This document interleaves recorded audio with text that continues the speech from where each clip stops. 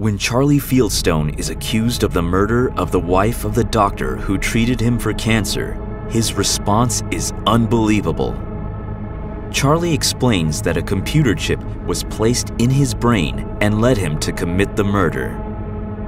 But the chip doesn't show up in x-rays and the police refuse to believe him despite the hallucinations and pain the chip is still causing. His wife tries to stand beside him.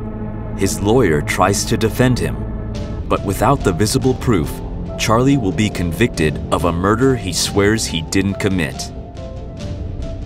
Charlie is desperate to prove his innocence and place the rightful blame on the doctor who planted the chip in his brain.